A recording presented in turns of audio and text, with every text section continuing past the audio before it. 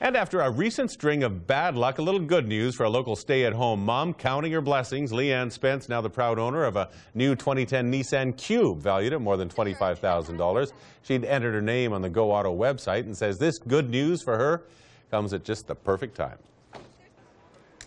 My mom phoned, she said, I'm going in for surgery, and I'm like, okay, I'll deal with this too. And my husband went to go out, and he blew the tranny in our car, so it's like, great, okay, now I got a car.